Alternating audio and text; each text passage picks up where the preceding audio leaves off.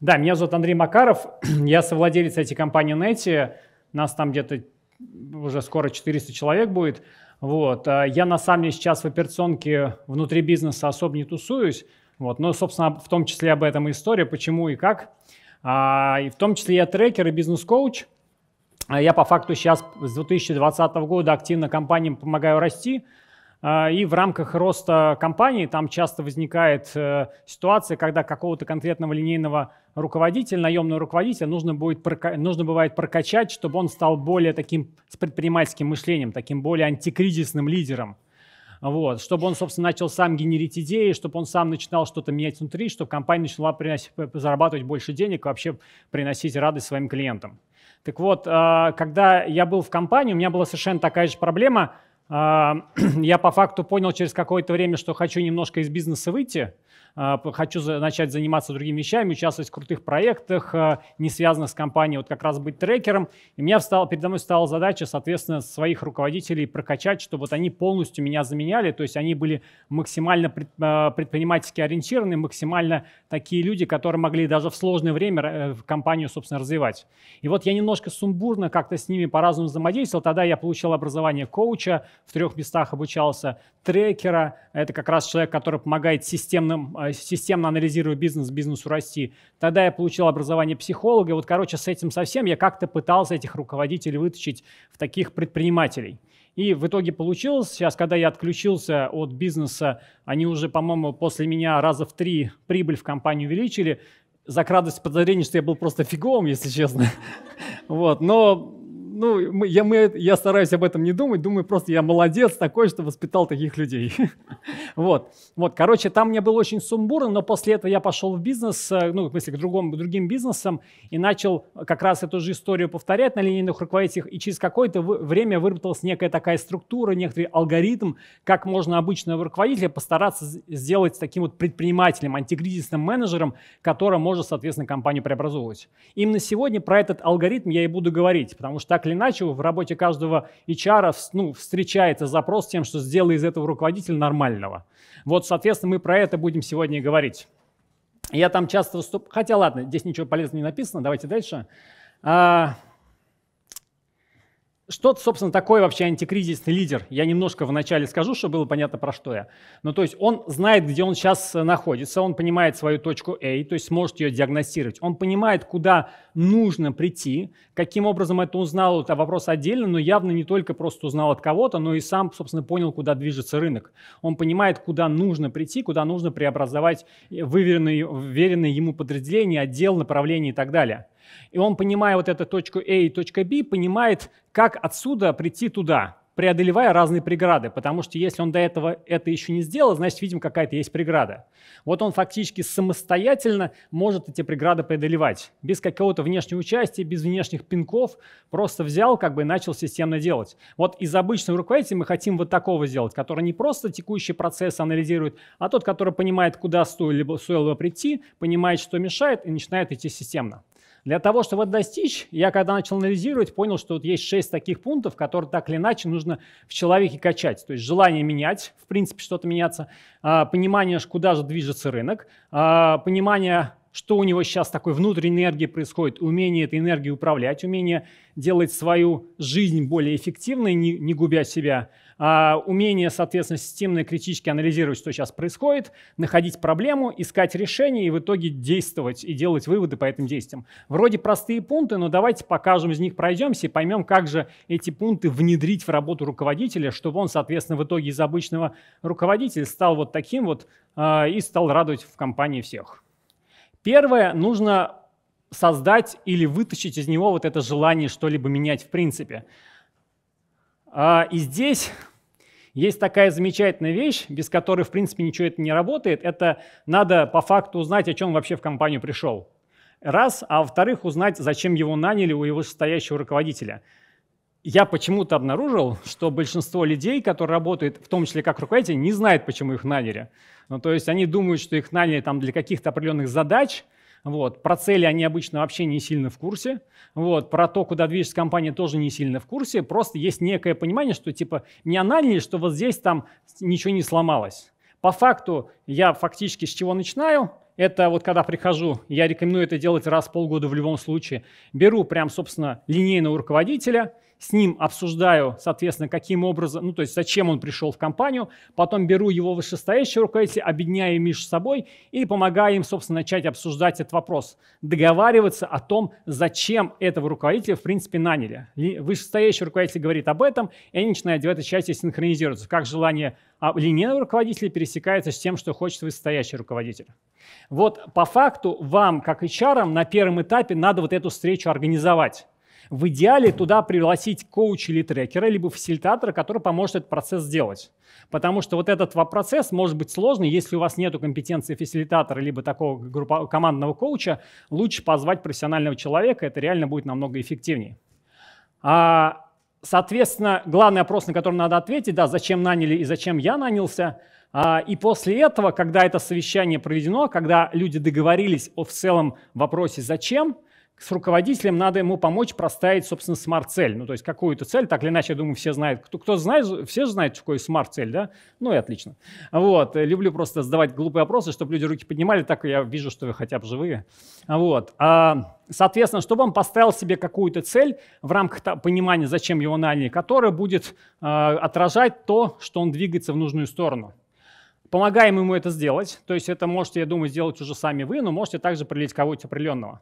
Вот, синхронизируемся опять в рамках этой цели с руководителем вышестоящим. И после этого а, а, лучше обязательно сделать такую вещь. Создать целостное видео, э, видео э, того, что будет, когда он эту цель достигнет. А, потому что большинство руководителей на этом этапе дальше ничего не начинают делать, просто в силу того, что думают, что если они эту цель начнут достигать, если ее достигнут, там будет все плохо. Недавно у меня был руководитель, который пришел как раз на этом этапе, и, а, значит, я с ним начинаю общаться, мы составляем с ним видение будущего, в которых у него отдел, там он хотел, чтобы у него отдел, по-моему, в три или четыре раза расширился, мы начинаем считать, что же будет дальше, и он видит, типа, ну я буду делать то же самое, и вот, соответственно, у меня что получится. Мы считаем, у него получает 25 часов работы в день. Ну, ощущение, что что-то не так, да, ну, то есть, если даже забить про сон и про семью, как-то как не очень. А, понятное дело, что подсознательно он-то понимает и тупо туда не хочет.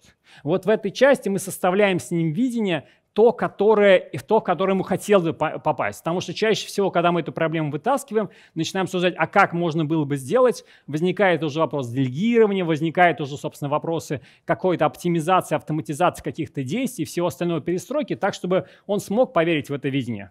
В этой части, опять же, можете сделать это вы, либо, собственно, опять же, привлечь в этой части коуча, вот, э, потому что коуч, по крайней мере, это может делать профессионально.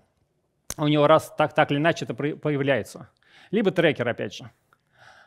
Вторая, второй момент, который нам важно сделать после того, как мы создали в нем это желание, либо вытащили из него, либо, собственно, просто перевели в область осознанного, это э, синхронизироваться, ну, помочь ему синхронизироваться с тем, что вообще от него хотят пользователи, что от него хочет рынок. Если это бизнес-подразделение, то чего от него хотят клиенты. Если это подразделение, которое работает на внутреннего клиента, как, например, какой-нибудь IT-отдел, да, тогда что хотят пользователи. В этой части нужно прям руководителю порекомендовать взять ногами пойти к людям и спросить, слушайте, а вообще мы помогаем, как вот наш отдел помогает вам решать проблемы или не помогает? Что вам нравится, что не нравится и, соответственно, что можно с этим сделать? Ну, то есть, что бы ли вы хотели вообще, чтобы мы вам давали?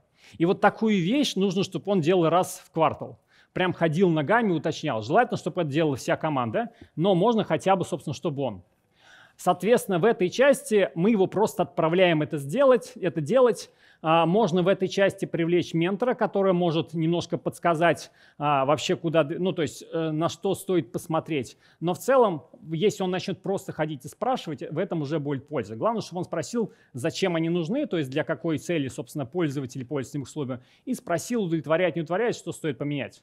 От этого у него обычно бывает куча инсайтов, куча понимания, что он, оказывается, как-то не совсем правильно реализует, собственно, цель, для которой перед ним ставилась. И у него начинают возникать какие-то новые инсайты относительно, что можно с этим сделать. А второй момент, то, что надо сделать, то, чтобы он не просто опрашивал а, текущих клиентов внутренних, но еще, понятное дело, пошел на какие-то конференции, нанял каких-то менторов а, и, соответственно, пошел на какие-нибудь мастер-майнды, где он узнает, а как у других компаний. Потому что чаще всего в текущей компании уже как-то все более-менее настроилось, но вот у других вполне возможно все по-другому. И, соответственно, можно узнать, что у других хорошо. Вот здесь ваша роль в этом плане – это прямо вот подпнуть его туда, вот пойти на конференции, послушать, включиться в мастер-майнды, где такие же, как он собирается, обсуждают, чтобы он начал хоть как-то смотреть пошире на мир. Вот. И последний момент, то, что мы рекомендуем такому руководителю делать и проверяем, собственно, что он это делает, это чтобы он начал собирать метрики, насколько, собственно, его пользователи удовлетворены тем, что он делает в этой части. То есть прям отдел бухгалтерия, отдел IT, чтобы они прям опрашивали людей, которые, соответственно, пользуются их услугами внутри компании, относительно того, насколько им классно. Здесь я рекомендую всегда две методики. Это NPS. Э, все знаете, что такое NPS? О, уже не все. Вот. NPS – это Net Promoter Score, и вопрос, насколько вы готовы рекомендовать наш, нас своим коллегам фактически, на, наш, наш сервис, наших людей и так далее. Соответственно, там определенным образом считается. Я в конце подготовил файлик с разными ссылками, там есть описание, собственно, обоих вот этих методик. Вот. По факту, если он начинает спрашивать вопрос, то он видит реальную оценку, начинает с этим что-то сделать. В рамках э, работы отдела в идеале, что если оценка хотя бы меньше 9, Э, по десятибалльной шкале, соответственно, стоит сразу разбирать, что можно преобразовать, больше подробно уточнять у человека, который поставил эту оценку. А, соответственно, в этой части это делает сама команда с руководителем. Вот. Но мы в помощь сможете себе привлечь ментора, чтобы он рассказал, а, как вообще везде, ну, в других компаниях происходит. Можно какой-нибудь площадке Get Mentor найти человека просто опытного в этой области. Или, соответственно, привлечь в этой части, опять же, трекера. Когда мы с этим справились, когда человек то есть, понимает, зачем он в компании, когда он как-то синхронизировался с пользователем, который у него есть. После этого фактически нужно, чтобы он поработал, вообще говоря, с собой. Что это означает? А, если руководитель в принципе не безнадежный, то часто возникает такая ситуация, что он удолбанный просто в усмерть. Ну, то есть просто люди ответственные, они обычно очень любят себя удалбывать. Я не знаю зачем, видим, чтобы чувствовать себя крутыми. Вот у меня недавно был, короче, случай. А, я, соответственно, с руководителем, а, ну, меня, меня клиент приглашает, говорит, типа, вот поработай с этим руководителем, мы видим в нем потенциал, надо, чтобы он вырос. Я говорю, давай встретимся, пообщаемся. Он говорит, окей, хорошо. Назначили с ним одну, в одно время встречи, оно перенеслось, второе время встречи перенеслось. В итоге мы с ним встречаемся в 23.30. Вот, ну то есть он вот такой уже, прям вот такие у него синие глаза, я вижу.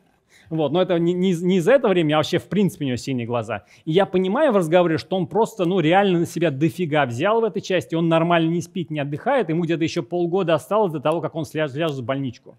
Вот такое, понятное дело, эта ситуация такая уже серьезная, но удолбанность руководителей – это один из основных факторов, из-за чего они не, не делают что-нибудь, не изменяют. Потому что у них типа, нам, мне бы как-то вот это вот удержать. А то, что вот это преобразование ваше вы мне предлагаете, еще и самому генерить себе задачи, нет, не надо мне, мне текущих хватает. Вот по факту здесь нужен либо коуч, либо психолог, либо трекер, либо если вы обладаете такими компетенциями, то можете вы, которые помогут ему разгрузиться. То есть самое первое, что сделать, это незавершенку убрать. Все задачи, которые висят больше месяца, их желательно куда-нибудь перенести, чтобы они ему перед глазами вообще, ну, можно либо закрыть нафиг, да, либо куда-то убрать в комод. Вот. Во-вторых, соответственно, попросить его составить свои текущие вещи, которые он выполняет, попросить его найти 3-4 дела, которые он может быстро делегировать. Всегда такое есть, всегда есть дела, которые можно быстро делегировать, просто он скорее всего их оставляет, потому что они хотя бы понятные. Вот это все остальное не очень понятно, а я вот это буду делать, оно понятное. Вот пускай он выделит под этого дела время. Во-вторых, с ним проанализируют, насколько он отдыхает, спит, э, соответственно, ест и двигается. Ну, то есть э, многие реально не планируют отдых никак.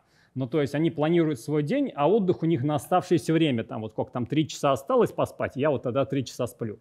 Вот по факту нужно с ним договориться, что он наконец начнет планировать, собственно, свой сон, планировать, собственно, свой отдых и планировать, собственно, свою, ну, питание, желательно, желательно хотя бы три раза в день. Ну, то есть там не просто с утра поел, а вечером там чай и так далее. Вот. Ну, то есть, соответственно, мы с ним по простым вещам таким договариваемся. Ну и движение я обычно всем руководителям, которым предлагаю, собственно, вырастить вот антикризисных лидеров, предлагаю начать на какой-то спорт ходить. Это реально хорошо дисциплинирует. И последний момент с ним проанализировать в целом его такой вот, ну, так или иначе, все знают, что такое колесо баланса? Вот, ну, короче, вот в идеале либо коучи, либо вы можете сами, если у вас такие компетенции есть, прямо с ним проанализировать, что у него по жизни. Потому что если у человека проблемы в семье, проблемы, там, не знаю, со здоровьем, с чем-то еще, он на самом деле не очень будет эффективен в работе. Просто в силу того, что он будет об этом беспокоиться, у него будут оттуда мысли периодически ускакивать.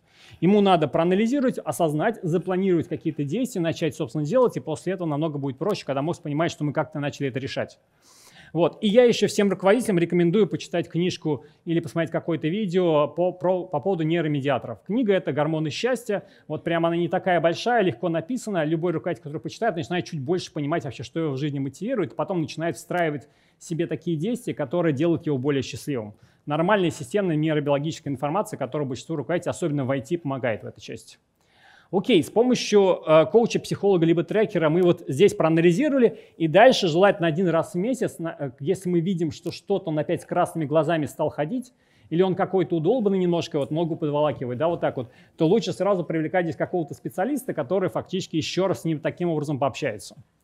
Хорошо, мы, значит, э, пообщались с ним по поводу цели, э, собственно, понимание, зачем он здесь, собственно, вообще находится в компании, синхронизировались. Потом он, собственно, пообщался с пользователями, понял, куда вообще, в принципе, движется желание у, у текущей компании и у, и у других, собственно, компаний, понимает, куда стоит развиваться. Он как-то справился со своей энергией, начал после этого более-менее чувствовать себе возможность делать. И мы тогда переходим к следующему этапу, уже конкретный системный анализ, а что сейчас не так. В этой части нам нужно порекомендовать руководителю, помочь ему настроить встречи один раз хотя бы в две недели, в рамках которой он вместе с командой начинает анализировать, что вообще происходит. Ну, то есть, по факту, прям вот в идеале расписать машину по производству результатов в простых каких-то словах, картинках, в чем-то еще, в рамках которого, что мы вот на, на, на вход нам поступают некие там запросы от бизнеса, а в итоге мы, соответственно, вот такой вот результат даем вот ее расписать и понять, где сейчас узкое место. То есть у нас вот есть вот такие-то цели, что в текущей машине нам мешает этих целей достигать.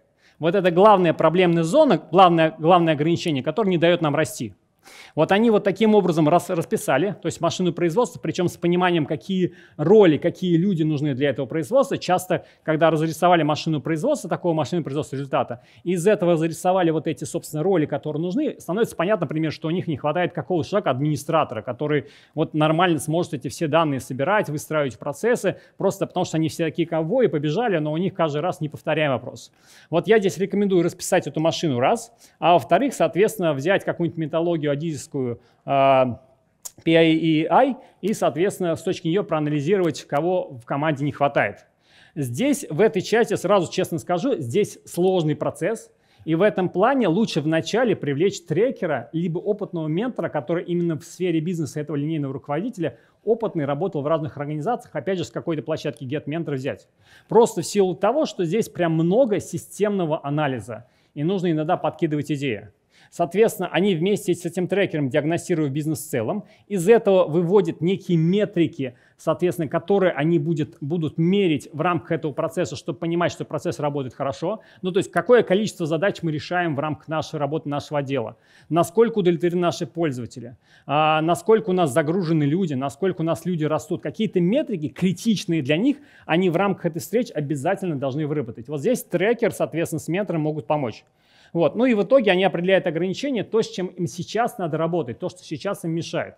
Вот результатом этой встречи является первые метрики, а, ну, то есть первое понимание процесса, как вообще работает, второе метрики, что они будут мерить, и третье, соответственно, то ограничение, которое самое основное, которое главное мешает.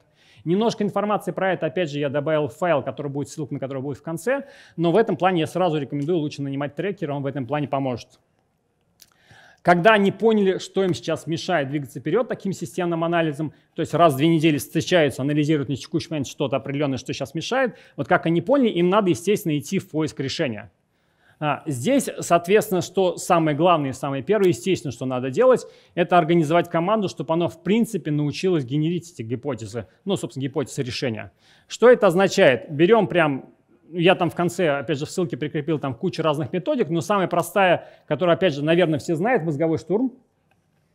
Фига себе, не все руки поняли, видим, просто уже ленятся, да? Ну, короче, я вижу по головам, что вроде все знают, просто уже устали.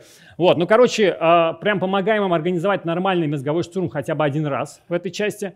После этого я предлагаю всегда к прям уже команде а, фактически начать системно анализировать другие подразделения в других бизнесах, как они работают. Вот, соответственно, приглаша, опять же, приглашаю их пойти в какие-то сообщества, мастер-майнды, где они прям придут свои проблемы, скажут ее, ребята, у нас вот такая-то проблема, кто как ее решает. То есть в Телеграме сейчас дофига сообществ, можно прям попросить их зайти туда, написать проблему, им кто-то что-то накидает в этой части. Вот, и прям здесь вот прям важно нанимать разных менторов для них. Но то есть большинство бизнесов почему-то не привлекает людей, знающих в чем-то, ну, в какой-то определенной области. То есть не человек, который скажет, вам нужно делать так, а просто который придет и подскажет, что можно было бы сделать, какие варианты существуют. Прям вот здесь вам помочь им самим или прям сами возьмите за этот процесс организации поиска этих менторов на разных площадках. То есть вы понимаете, что у них какая-то проблема, и, соответственно, подсказываете, что им пора бы пойти поискать, либо помогаете им самим найти. Вот обычно эти менторы их резко вначале толкают. Значит, вначале людям сложно бывает придумать какую-то новую идею, которая прорывная будет. Иногда они на самом деле ее даже знают, но вот приходит ментор, говорит, делайте так. Он такой, они раз, и, соответственно, начали наконец-то, соответственно, делать. Ну, то есть, по факту нужны, короче, менторы, которые пробьют этот первый потолок. И когда у них идея возникла, надо помочь им хотя бы первый раз в этой части а, сделать, ну, найти способ это сделать быстро. К сожалению, большинство команд, которые давно работают, им кажется, ну, естественно, да, что все изменения сложные. А, и вот у меня, ну, самый последний клиент, который, вот, получается, неделю назад мы с ним общались, он говорит, даже или, или больше, не помню точно, он говорит, вот, значит, мы хотим такое преобразование, они к этому приходят. Я говорю, окей, хорошо, как его сделать? Говорит, ну вот нам, короче, надо полгода, мы сделаем то-то, то-то, то-то, то-то, то-то, и все будет классно. Говорю, окей, коллеги, как можно быстрее? Как можно это сделать за неделю? Они опять говорят, у них там получается три месяца. Говорю, как можно? Короче, раз семь я этот вопрос задал, они еще несколько раз подумали, в итоге они пришли к тому, что это можно сделать за неделю. Не все, но уже первый результат получить и понять, что все не зря. То есть не надо было вот эту подготовку в пять месяцев, а потом запуск эксперимента. Всегда можно какой-то маленький простой эксперимент на отдельной категории клиентов, на отдельной категории лиц, маленький вещь без разработки сложных систем, пользуясь какими-то Google таблицами, всегда можно простую какую-то вещь попробовать сделать. И вот в этой части прям важно, чтобы они это нащупали. Понятное дело, что идеально это делает обычно трекер, либо, собственно, командный коуч, который задает просто эти вопросы в этой части. Вот. Но понемножку надо, чтобы команда самостоятельно делала. Потом на этом вначале нанимаете либо трекер, либо коуча, либо сами, если обладаете этой методикой, делайте все сами. А потом постепенно смотрите за тем, чтобы команда научилась это делать сама. Ну или, собственно, у них должен тогда появиться agile коуч, который, собственно, или Scrum коуч, который будет, собственно, с этим э, помогать. Соответственно, окей, это нащупали. И когда они нашли решение, естественно, надо начать, чтобы они действовали. В этой части в идеале настроить встречи один раз в неделю, в рамках которых они будут, собственно, анализировать, что они делают, и как-то немножко корректироваться. То есть они поняли решение, запланировали себе некие действия, дальше надо их отслеживать. А, я прям здесь рекомендую руководителю, и вам, как HR, надо будет, соответственно, также рекомендовать в идеале, чтобы руководитель фактически назначил какую-то определенную встречу, желательно там в начале недели, либо в конце недели с планом на следующую неделю, в рамках которых они обсуждают, соответственно, что нужно сделать, вот, и кто это будет делать. Ну, достаточно простые вещи. Но в этой части существуют э, важные моменты. Первое, стоит учитывать, и отгружаясь руководить эту методику, это ситуативное лидерство. Кто-то знает, что такое ситуативное лидерство?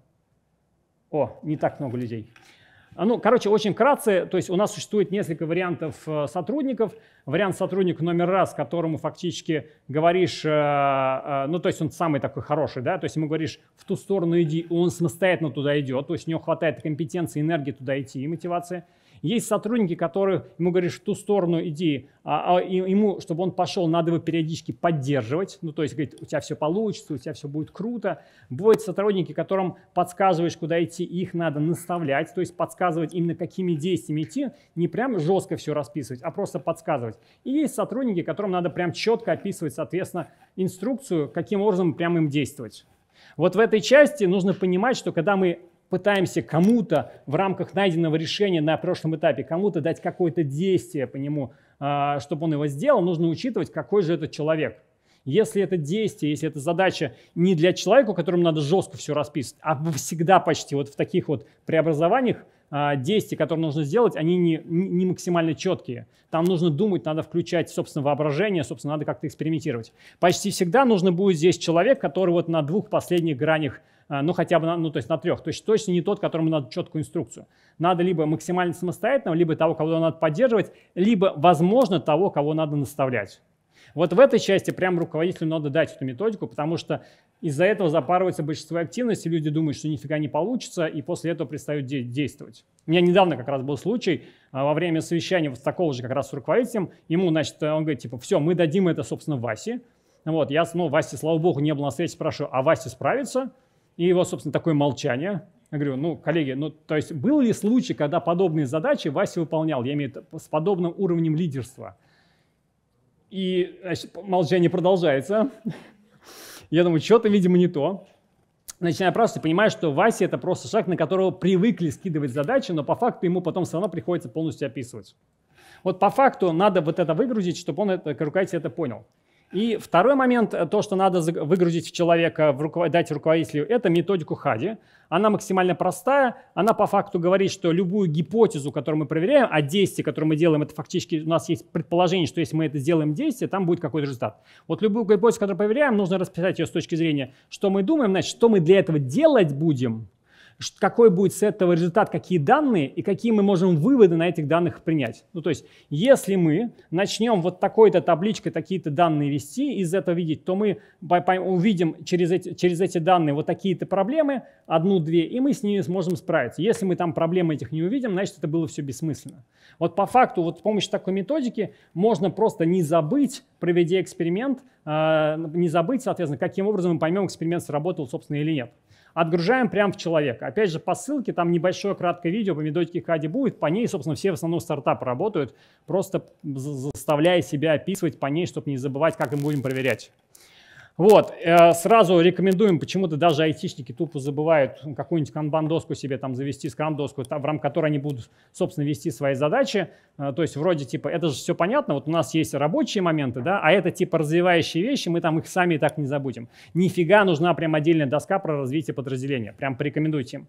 Ну и последнее, надо помогать им делать выводы э, на каждой такой встрече по прошедшей неделе, что получилось, что не получилось и что нужно поменять обычно такая ретроспектива. Э, в идеале, если вы обладаете данными компетенциями, один раз к ним подключитесь на встречу, лучше или два, или три, и помогите эти вопросы им задавая, и потом составьте с ним план встречи, в рамках которых они эти вопросы всегда будут задавать. Ничего сложного как бы в этой части нету, но они, блин, забывают постоянно. От этого у них ничего не преобразуется. То есть им надо сделать выводы, и нам, собственно, надо понять, что преобразовать. В идеале здесь получить какого-нибудь командного agile коуча, либо, опять же, трекера, но через какое-то время лучше отгрузить это в команду, чтобы она научилась.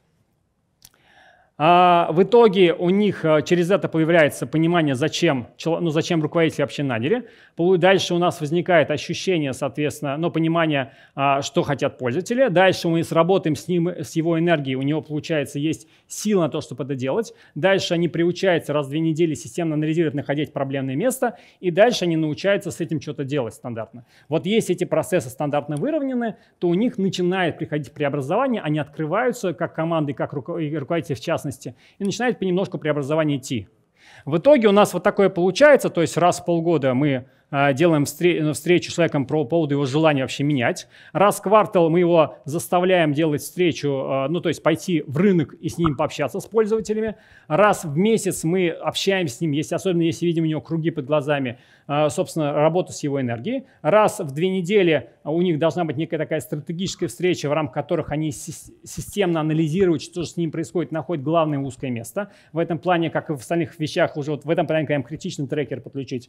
Дальше они, соответственно, э, раз в две недели ищут решение, э, каким образом это можно преобразовать, и раз в неделю отслеживают, как они действуют и что стоило бы поправить в их, собственно, движении, чтобы было хорошо. Вот таким вот образом можно понемножку делать руководителя таким антикризисным менеджером. Если он начинает эти вещи делать, так или иначе он преобразуется. Как получается по моему опыту?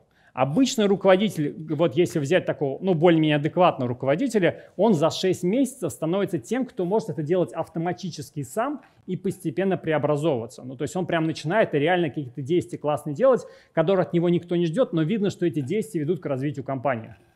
Вот, кто-то дольше, ну, то есть бывало у меня люди, которые там шли к этому делу полтора года, и тут тоже вопрос будет э, в вас, да, готовы ли столько инвестировать человека, или ему, в принципе, текущий он устраивает, не устраивает.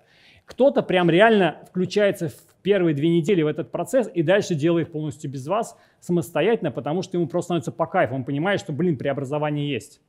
Стоит понимать, что реальные результаты, скорее всего, появятся со второго месяца. То есть первого месяца они будут немножко сопротивляться, у них возникает идея, которая, э, ну, с реализацией, которую делать прям реально долго, вы не сможете их подбить на то, чтобы, соответственно, они все-таки преобразовались сразу, ну, то есть нашли сразу мелкие шаги, которые дадут максимум результата. Скорее всего, со второго месяца они раскачаются, начнут реально какие-то классные результаты давать. Это стоит учитывать, потому что вначале ну, не всегда стоит от них прям крутых результатов ждать. Ну и последнее, стоит учесть, что, наверное, 30%, ну по моей статистике, вообще не такие. То есть, говорить, мы вот, мы вот здесь, чтобы просто работало, вот нам, нам вот это все преобразования не нужны. Мы хотим просто сохранять текущий статус-кво, чтобы все просто работало, как сейчас есть. Мы в руководстве не для того, чтобы менять, а для того, чтобы э, настроить, а потом сидеть и курить бамбук. Ну или просто они любят страдать, такое тоже бывает. Вот, э, соответственно, стоит это учитывать, получится не со всеми, и это нормально. Вот, а, значит, вот здесь дополнительные материалы относительно того, что я сказал. Там всякий раз есть ссылки, э, которые можно посмотреть и обучаться этому. Я рекомендую на первом этапе всегда подключать отдельных специалистов, трекера, психолога, коуча, которые в этом помогут. А смотреть за ними, возможно, вы потом начнете в это погружаться и сможете это делать сами. Но, по крайней мере, у меня получилось обучиться этому. Я думаю, у вас тоже получится. Но вначале лучше привлекать профессионалов. Вот. Ну и здесь мои контакты. Я готов, соответственно, если у вас возникают вопросы не в рамках текущего мероприятия, тоже общаться и помогать. Спасибо вам. Спасибо. Вопросы?